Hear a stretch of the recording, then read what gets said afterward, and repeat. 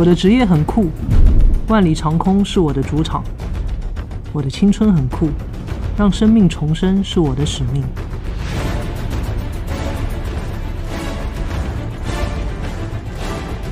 人们说我是遇险者的光，而我却觉得是他们让我遇见更好的自己。我是东海第一救助飞行队的搜救机长宋莹，飞行十二年，我安全飞行三千一百八十小时，执行救援任务两百八十三起。我和我的同事们一起从死神手中抢回两百二十三条生命。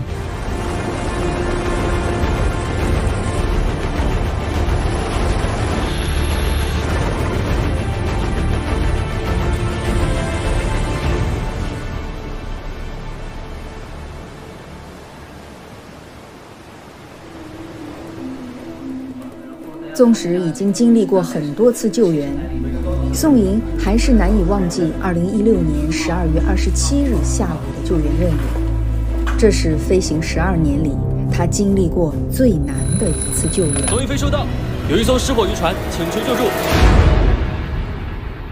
在我们高洞机场东偏南九十海里左右这么一个位置，然后有一艘着火渔船，当时船上有十个人员被困。希望我们去把他们转移出来。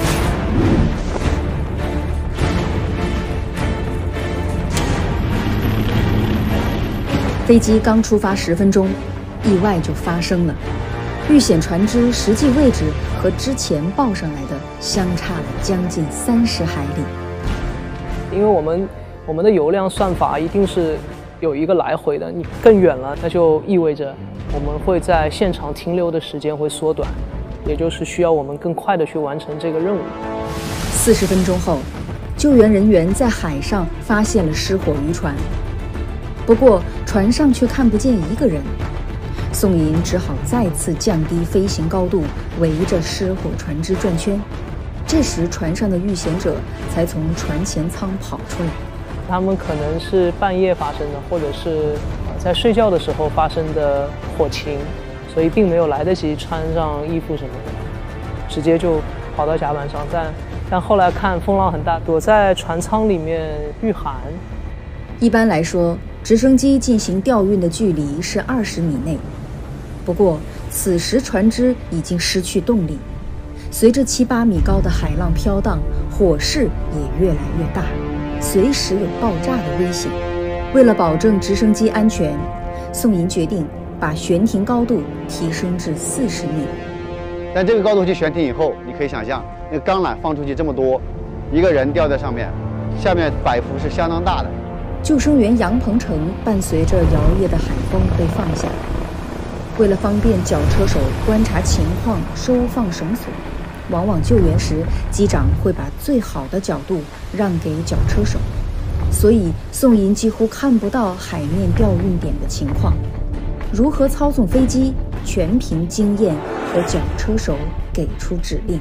在天上的一个一到两米的前进或者呃向后，这种左右摇摆的话，可能对于底下的救生员可能晃了会有十来米，所以机长的心理压力也很大。就在杨鹏程准备靠船的时候，远处打来了一个大浪。船只迅速摇晃，眼看着杨鹏程就要碰到障碍物，唐林赶紧收绳，宋莹也赶紧跟着唐林的口令，操纵直升机向后撤离，避免了救生员的危险。唐林会说：“啊，我先收绳，有点近了，我先收绳。”但是他不会说：“机长你怎么操作的？怎么怎么样？”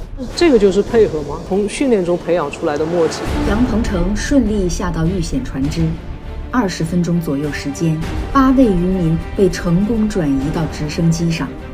此时，第一架直升机的剩余油量和载重都到了极限，第二架增援直升机也到了现场。宋莹要再次做出决定，自己机组的救生员要不要一起带回？如果。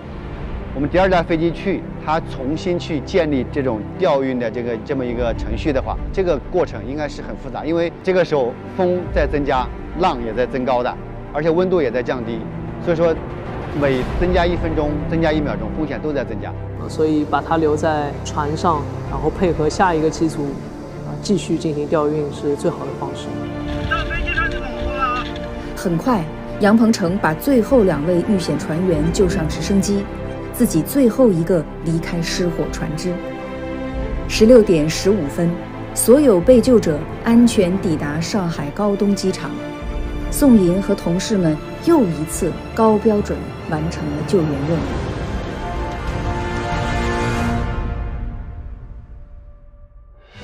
如今的宋莹，因为中国第一代女搜救机长的光环，时常被关注。但她知道，所谓高光时刻的背后，其实是这些日复一日的训练和学习，是普通的人在坚持梦想。他希望大家记住的是，她是救援机长，而不是女机长。不会因为你是女性，飞行标准而降低。面对的挑战也是一样的，你不可能因为今天是你机长值班，啊，任务就不会太难。哎，不会。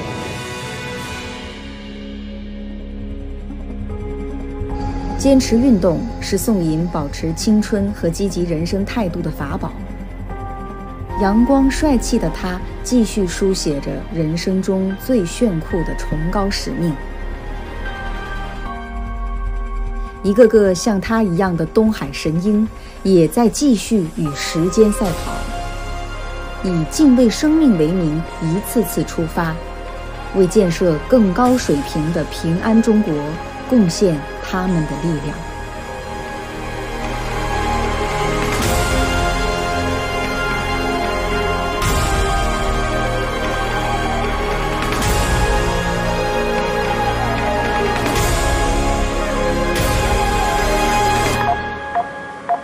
拐三五六，准备好起飞。